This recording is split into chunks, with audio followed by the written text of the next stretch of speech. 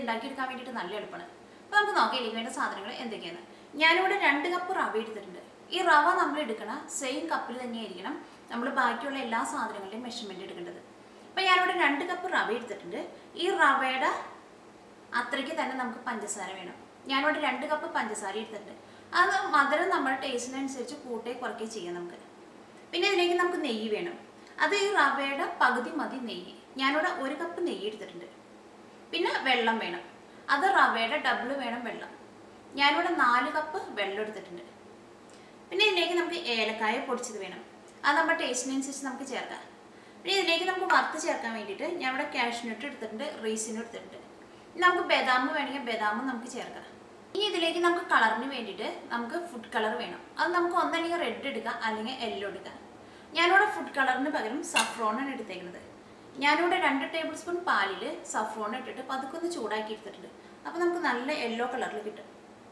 അത് നമുക്ക് സഫ്രോണിന്റെ ടേസ്റ്റ് ഇഷ്ടമുണ്ടെങ്കിൽ മാത്രം ചേർത്താൽ മതി. അല്ലെങ്കിൽ നമുക്ക് കളർ വേണമെന്നുണ്ടെങ്കിൽ ഫുഡ് കളർ ചേർക്കാം. ഇപ്പോൾ കളറൊന്നും ചേർത്തില്ലെങ്കിലും നമ്മുടെ റവ കേസരിക്ക് ടേസ്റ്റിന് വ്യത്യാസമൊന്നും ഉണ്ടാവില്ല. നമുക്ക് നോക്കാം എങ്ങനെ കേസരി ആക്കാന്ന്. കേസരി ഉണ്ടാക്കാൻ വേണ്ടിയിട്ട് ഒരു കട്ടിയുള്ള പാൻ വെച്ചിട്ട് ചൂടാക്കുക ഒരു കട്ടിയുള്ള പാനായിരിക്കും എപ്പോഴും നല്ലത്. ഇനി ഇതിലേക്ക് നമുക്ക് നെയ്യ് ഒഴിച്ചിട്ട് ഏറ്റവും തന്നെ നമുക്ക് കാഷ്നട്ടും റൈസിനും നമുക്കൊന്ന് വറുത്തെടുക്കാം. അത് കഴിഞ്ഞിട്ട് ആ സെയിം നെയ്യിൽ തന്നെ നമുക്ക് റവ ഇട്ടിട്ട് വറുത്തെടുക്കാം. അപ്പോൾ ഇതിലേക്ക് നമുക്ക് നെയ്യ് ചേർക്കാം.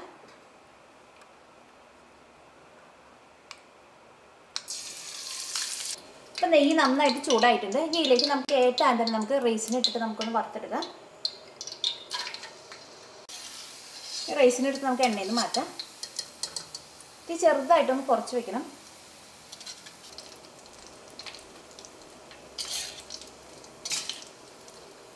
നമ്മുടെ ക്യാഷിനിട്ടും ഈ നെയ്യിൽ കിടന്ന് നന്നായിട്ട് മുരിഞ്ഞിട്ടുണ്ട്. നല്ലൊരു ഗോൾഡൻ ബ്രൗൺ ആയിട്ടുണ്ട്. നമുക്ക് എണ്ണയിൽ നിന്ന് എടുത്തിട്ട് മാറ്റാം. നമുക്ക് റവ ഇട്ടിട്ട് റവ നമുക്ക് നന്നായിട്ടൊന്ന് വറുത്തെടുക്കാം. ഈ റവ ഇടുന്ന കൂട്ടത്തിൽ തന്നെ നമ്മൾ ആ വറുത്ത് വെച്ചേക്കണ കാഷ്നട്ടിൽ നിന്നും റേസിനിൽ നിന്നും നമുക്ക് കുറച്ച് നമുക്ക് ഇപ്പം ചേർക്കാം. ബാക്കിയുള്ളത് നമുക്ക് ഏറ്റവും അവസാനം നമുക്കിത് ഗാർണിഷ് ചെയ്യാൻ വേണ്ടിയിട്ട് എടുക്കാം. അപ്പോൾ ഇതിലേക്ക് നമുക്ക് റവ ചേർക്കാം.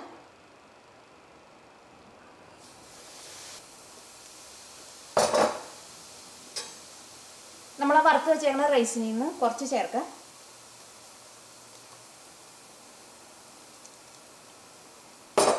കാഷ്നട്ടിൽ നിന്നും കുറച്ച് ചേർക്കാം.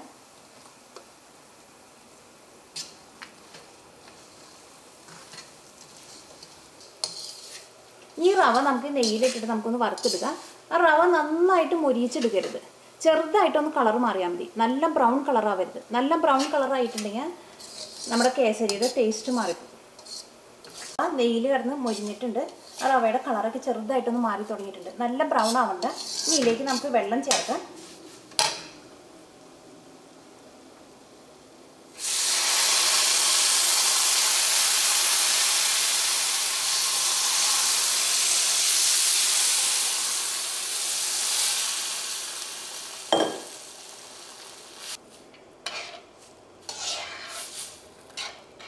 ഇതിലേക്ക് നമുക്ക് ഒരു നുള്ളു ഉപ്പ് ചേർക്കാം. നമ്മൾ ഇതിലേക്ക് പഞ്ചസാര നന്നായിട്ട് ചേർക്കുന്നുണ്ട്.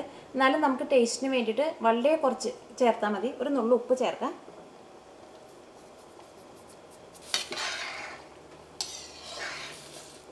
ഈ വെള്ളം ഒഴിച്ച വഴിക്ക് തന്നെ നമ്മൾ ഉപ്പ് ചേർക്കണം. എന്നാൽ മാത്രമേ ആ ഉപ്പ് എല്ലായിടത്തേക്കും ആവുള്ളൂ. ഈ വെള്ളം തിളച്ച് തുടങ്ങുമ്പോൾ നമുക്ക് ഇതിലേക്ക് ഏലക്കായയും പിന്നെ നമ്മൾ എടുത്ത് വെച്ചേക്കണം സഫ്രോണും ചേർക്കാം. അല്ലെങ്കിൽ സഫ്രോൺ അല്ല നമ്മൾ കളറാണ് ചേർക്കണമെന്നുണ്ടെങ്കിൽ ആ സമയത്ത് തന്നെ കളർ ചേർക്കാം. ഇപ്പോൾ വെള്ളം തിളച്ച് തുടങ്ങിയിട്ടുണ്ട്. ഇതിലേക്ക് നമുക്ക് ഏലക്കായ പൊടിച്ച് ചേർക്കാം.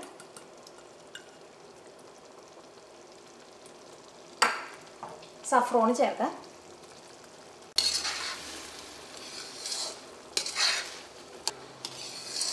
ഇനി നന്നായിട്ടൊന്ന് തിക്കായിട്ട് വന്ന് തുടങ്ങുമ്പോഴാണ് ഇതിലേക്ക് നമ്മൾ പഞ്ചസാര ചേർക്കുന്നത്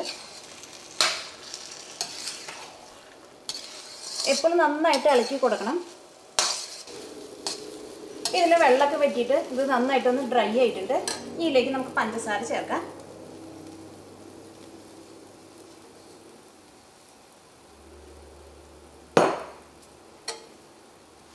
പഞ്ചസാര ചേർത്ത് കഴിഞ്ഞിട്ടുണ്ടെങ്കിൽ പിന്നെ നമ്മൾ നന്നായിട്ട് ഇളക്കി കൊടുക്കണം.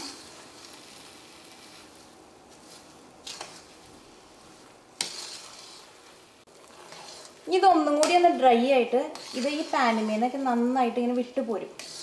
ചെറുതായിട്ട് വെള്ളം നനവുണ്ട് ഇതിനകത്ത്. ഇതൊന്നും കൂടി ഒന്ന് ഡ്രൈ ആവാണ്ട്. ഇത് നന്നായിട്ട് സെറ്റായിട്ട് വന്നിട്ടുണ്ട്. ഇത് പാത്രത്തിൽ നിന്ന് നന്നായിട്ടൊക്കെ വിട്ട് പോരുന്നുണ്ട്.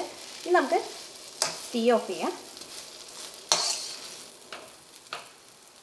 ഇനി ഇത് നമുക്കൊരു പാത്രത്തിലേക്ക് നമുക്ക് പകർത്താം. അത് കഴിഞ്ഞിട്ട് നമുക്ക് ആ കാഷ്നട്ടും റൈസിനും വെച്ചിട്ട് നമുക്കൊന്ന് ഗാർണിഷ് ചെയ്യാം.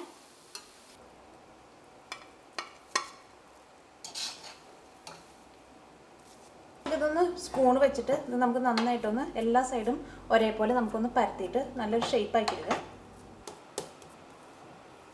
ഇനി നമുക്ക് കാഷ്നട്ടും റൈസിനും വെച്ചിട്ട് നമുക്കൊന്ന് ഡെക്കറേറ്റ് ചെയ്യാം. റവ കേസരി റെഡി ആയിട്ടുണ്ട്. ഇത് നമുക്ക് വളരെ പെട്ടെന്ന് നമുക്ക് ഉണ്ടാക്കിയെടുക്കാൻ വേണ്ടി പറ്റും. ഇനി ഇത് നമുക്ക് നന്നായിട്ട് തണുപ്പിച്ചിട്ട് വേണം. ഇത് നമുക്ക് ഇഷ്ടമുള്ള ഷേപ്പിൽ നമുക്ക് കട്ട് ചെയ്തെടുക്കാൻ വേണ്ടിയിട്ട്.